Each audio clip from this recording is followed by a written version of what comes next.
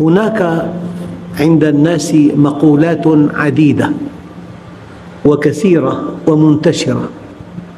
فلان يده خضراء. فلان ما له حظ. فلان الدهر قلب له ظهر المجن فلان فوق الريح. فلان كيف ما بيتحرك بيجي واقف كله كلام ما له معنى إطلاقا ولا يستند إلى واقع. الحقيقة الأولى في قانون التيسير والتعسير أن أفعال العباد بيد الله عز وجل. أنت مخير لكنك مخير أن تنبعث إلى عمل ما. أما آلية العمل بيد الله عز وجل. وكذلك نولي بعض الظالمين بعضا بما كانوا يكسبون. الحقيقة الأولى في الموضوع أن الله سبحانه وتعالى بينها هذه الحقيقة الأولى في قصص كثيرة.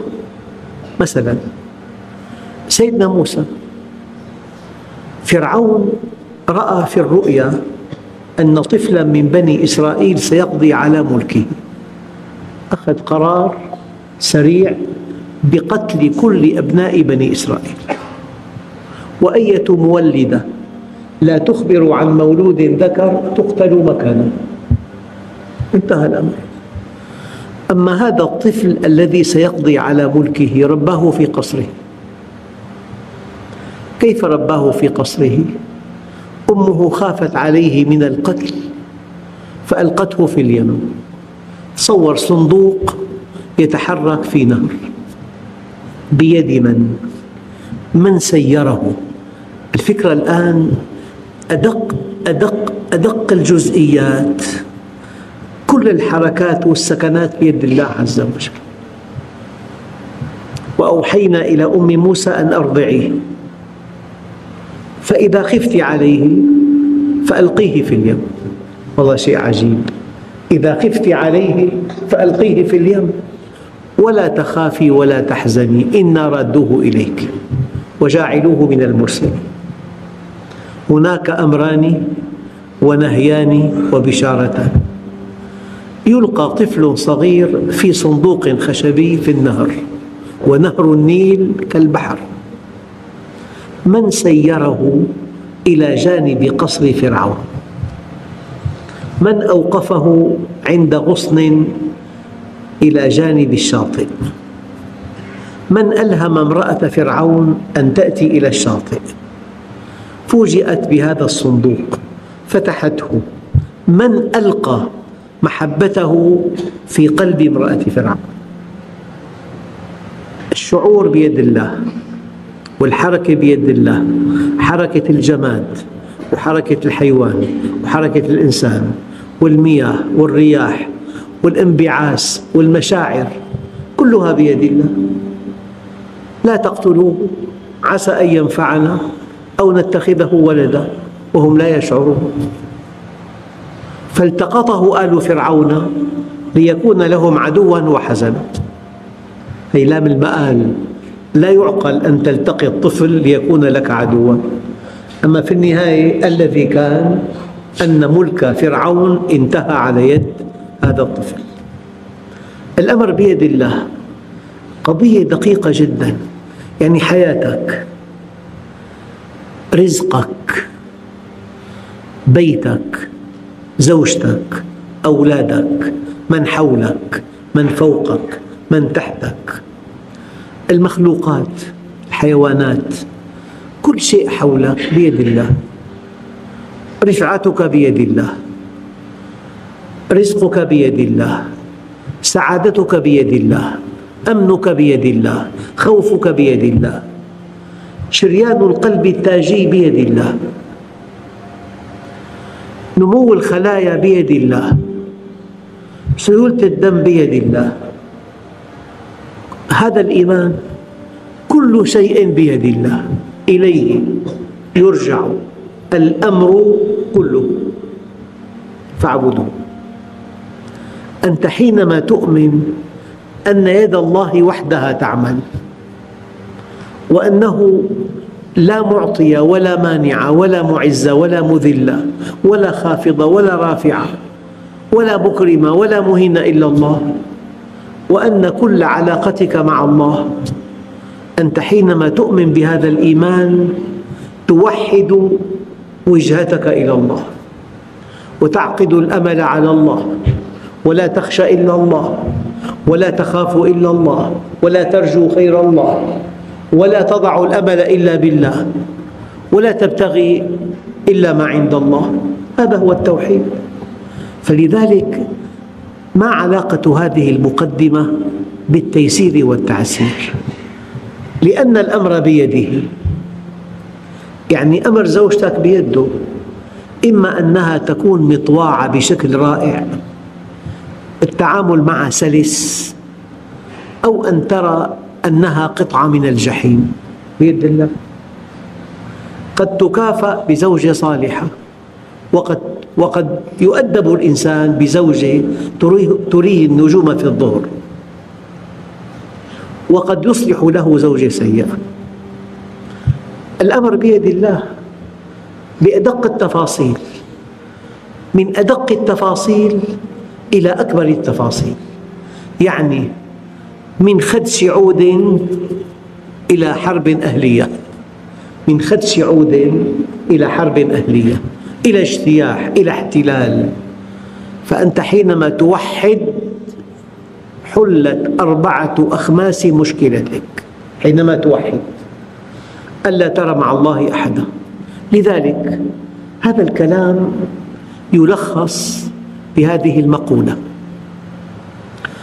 كل شيء وقع أراده الله. معنى أراده أي سمح به فقط. قد يريد شيئا ولم يأمر به. قد يريد شيئا ولم يرضى عنه. أنت مخير. هويتك مخير. أنت المخلوق الأول. أنت المخلوق المكرم. أنت المخلوق المكلف. لو ألغى الله حريتك انتهى التكليف. انتهى حمل الأمانة انتهت الجنة انتهت النار انتهى الثواب انتهى العقاب. أنت مخير. وجئت إلى الدنيا على هذا الأساس. أنت مخير. يعني يمكن أن تفعل شيئا أصررت عليه والله لا يرضى أن تفعل هذا الشيء كما لم يأمرك أن تفعله. قال علماء العقيدة أراد ولم يأمر. أراد ولم يرضى. يعني أنت صيدلي وتحتاج إلى موظف ليعينك بعد الظهر. أردت أن تمتحنه. أتيت له ببعض الأدوية وقلت له ضع هذه الأدوية في أماكنها في هذه الصيدلية. هي فيتامينات هي سموم هي أنتيبيوتيك هي مقويات هي فأخذ دواء السموم ليضعه مع الفيتامينات. إذا أنت منعته التغى التكليف التغى الامتحان كله فأنت سكتت. أنت أقوى منه. بإمكانك أن تمسك يده ضعها هنا. التغى الامتحان. الامتحان التغى كليا فالله عز وجل أراد ولم يرضى. أراد ولم يأمر. يعني سمح. لأنه لا يليق أن يقع في ملك الله ما لا يريد. ما يليق إله عظيم يقع في ملكه ما لا يريد. هذا لا يتناسب مع ألوهية الإله العظيم. إذا كل شيء وقع أراده الله بمعنى سمح به. وكل شيء أراده الله وقع. شيء وقع أراده الله. لحكمة بالغة بالغة بالغة. شيء لم يقع. أراد الله ألا يقع. لحكمة بالغة بالغة بالغة. فالذي وقع أراده الله أي سمح به لحكمة بالغة بالغة وقد يكون الذي أوقعه مجرما. لذلك قالوا لكل واقع حكمة. لكل واقع حكمة. قد يقع الشيء في الظاهر في أذى كبير لكن لأن الله سمح به هناك خير كبير. علمه من علمه وجهله من جهله. كل شيء وقع أراده الله وكل شيء أراده الله وقع. وإرادة الله متعلقة بالحكمة المطلقة. الحكمة المطلقة أيها الإخوة الله عز وجل نقول عدله مطلق حكمته مطلقة. كيف؟ يعني إذا في ست آلاف مليون إنسان واحد ظلم واحد من ستة آلاف مليون إنسان ظلم هذا يتناقض مع عدل الله. إذا عصفور ظلم يتناقض مع عدل الله لأن عدل الله مطلق. أما عدل الإنسان نسبي. قاضي أصدر ألف حكم خلال ثلاثين سنة. في خمس أحكام فيها ظلم لضعف المعلومات. يسمى عند أهل الأرض قاضي عادل. الأحكام للإنسان نسبية أما الأحكام المتعلقة بذات الله مطلقة. فلذلك كل شيء وقع أراده الله وكل شيء أراده الله وقع وإرادة الله متعلقة بالحكمة المطلقة. ما معنى بالحكمة المطلقة؟ أن الذي وقع لو لم يقع لكان الله ملوما. وأن الذي وقع لو لم يقع لكان نقصا في حكمة الله. كل شيء وقع أراده الله وكل شيء أراده الله وقع وإرادة الله متعلقة بالحكمة المطلقة وحكمته المطلقة متعلقة بالخير المطلق. خير مطلق. أيها الإخوة الأحباب الشر المطلق لا وجود له في الكون الشر المطلق يتناقض مع وجود الله. لا يمكن أن يكون هناك شر مطلق إلا أن الشر نسبي. والله سبحانه وتعالى يوظفه للخير المطلق. هي مقدمة. الآن لا في حظ. تقول الأم مسكينة البنت ما لها حظ. كلام ما له معنى. فلان قلب له الدهر ظهر المجن. كلام ما له معنى. فلان أقبلت عليه الأيام. تسره. كلام ما له معنى. ما هي الأيام؟ ما هو الدهر؟ ما هو الدهر الذي قلب لك ظهر المجن؟ فلان إيده خضراء. فلان وين ما تحرك بيجي واقف. هي كلها كلمات لا معنى لها. في معنى واحد التيسير والتعسير له قانون. القانون الذي ينتظم التيسير والتعسير هذه الآية.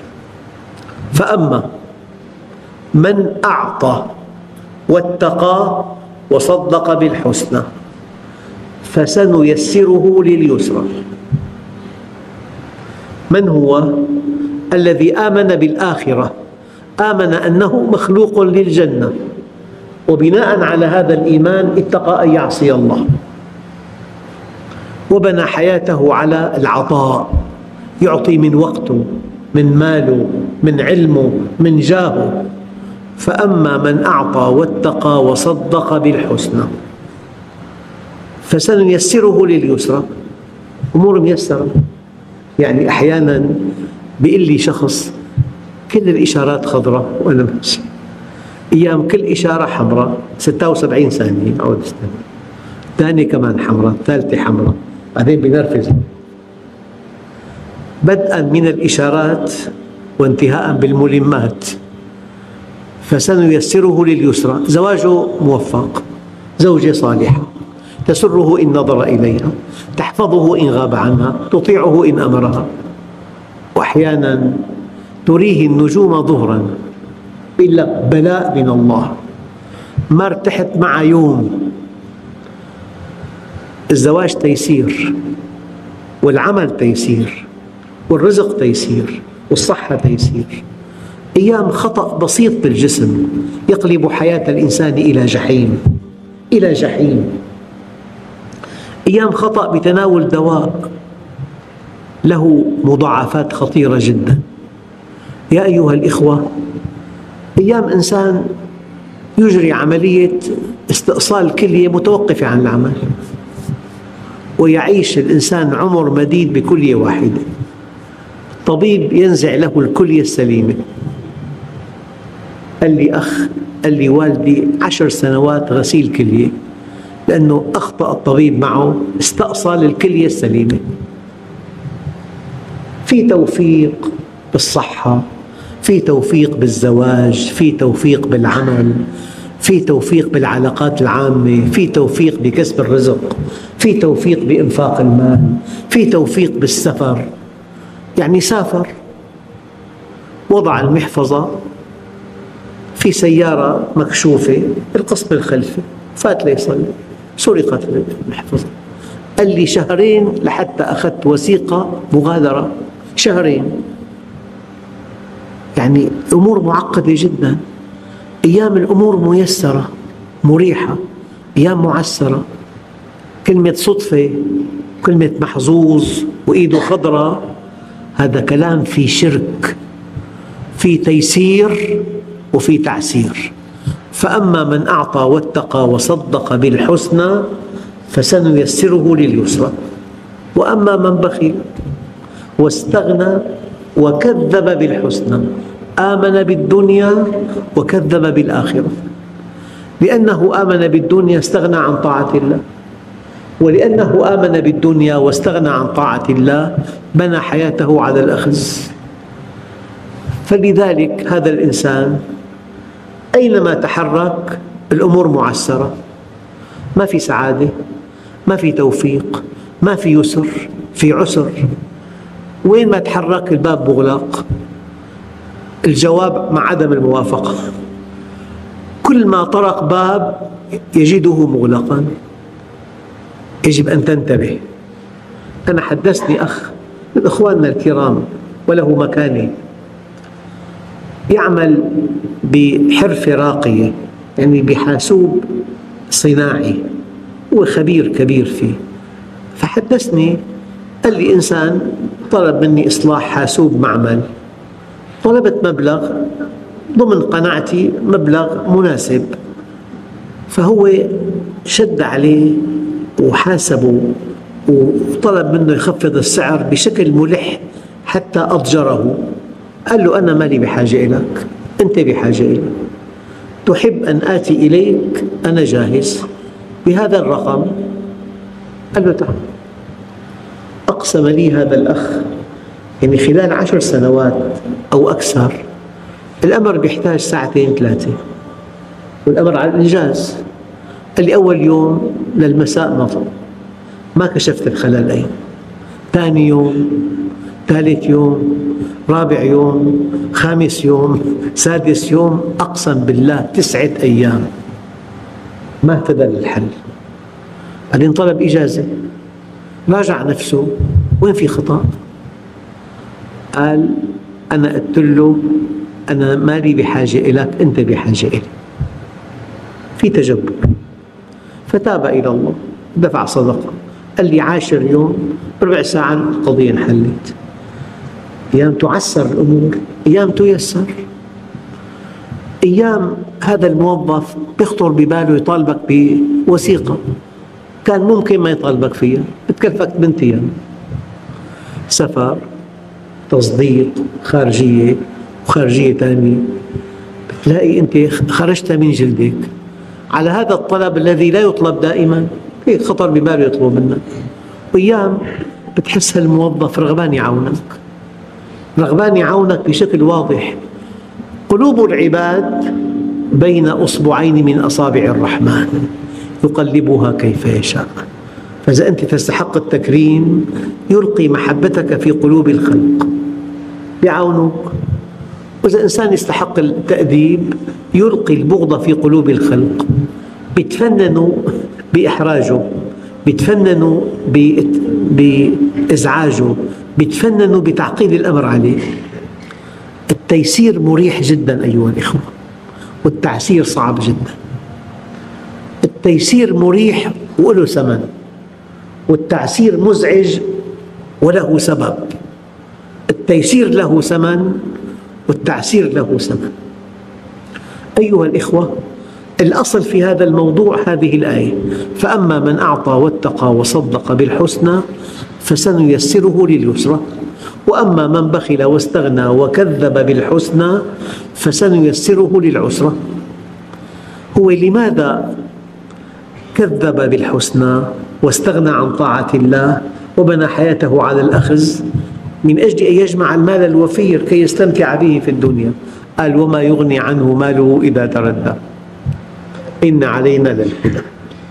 أيها الإخوة قضية التيسير والتعسير شيء مهم جدا في حياتنا. مهم بزواجك مهم بعملك مهم بدراستك. أيام أستاذ في جامعة أجنبية من أصل يهودي أحيانا بتفنن بإزعاجك بتفنن بوضع العراقيل أمام شهادتك. طالب آخر مع أستاذ آخر. الأمر ميسر. فالتيسير والتعسير موضوع مهم جدا في حياتنا. له ثمن التعسير له سبب والتيسير له ثمن. نعم. لكن أيها الإخوة الآن في آية والله الذي لا إله إلا هو. لو لم يكن في القرآن إلا هذه الآية لكفت. قال ومن يتق الله يجعل له مخرجا. يعني مستحيل وألف ألف ألف مستحيل أن تتقي الله ثم لا تجد التيسير والراحة النفسية.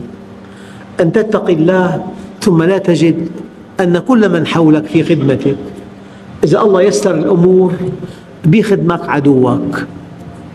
وإذا الله عسر الأمور بيتطاول عليك أقرب الناس إليك. بيتطاول عليك أقرب الناس إليك. فلذلك ومن يتق الله من يتق الله في اختيار زوجته يجعل الله له مخرجا من زوجة سيئة تؤذيه من يتق الله في تربية أولاده يجعل الله له مخرجا من عقوقه.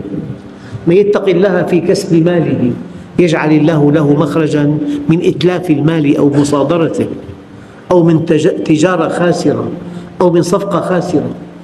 من يتق الله في التوحيد يجعل الله له مخرجا من الشرك. من يتق الله في صحته يجعل الله له مخرجا من المرض. آية واسعة جدا. ومن يتق الله يجعل له مخرجا. آية ثانية. ومن يتق الله يجعل له من أمره يسرا. التيسير والتعسير. يريد الله بكم اليسر. الله عز وجل قد يسمح لك بعمل نتائجه تعسير أمورك. أنه أنت اخترته قد يسمح لك بعمل أنت مخير نتائج هذا العمل تعسير في أمورك. لكن الله عز وجل يريد بكم اليسر ولا يريد بكم العسر. وهي آية مهمة جدا. أيها الإخوة الكرام الله عز وجل يقول إن مع العسر يسرا.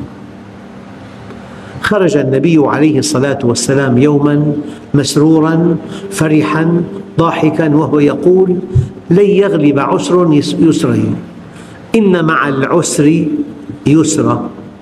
إن مع العسر يسرا. الكلمة إذا تكررت وكانت معرفة لمعنى واحد. أما إذا جاءت النكرة الكلمة نكرة وتكررت بمعنى آخر. لذلك صار في عنا عسر واحد ويسرين ولن يغلب عسر يسرين. لذلك يقول عليه الصلاة والسلام كتطبيق عملي أنتم أيها المؤمنون يسروا ولا تعسروا بشروا ولا تنفروا وسددوا وقاربوا. كما أنك تريد من الله أن ييسر عليك أنت يسر على من حولك. ورحم الله عبدا سهلا إذا باع سهلا إذا اشترى سهلا إذا قضى سهلا إذا اقتضى. قانون التيسير والتعسير أصله هذه الآية. والحل ومن يتق الله يجعل له مخرجا. والحمد لله رب العالمين.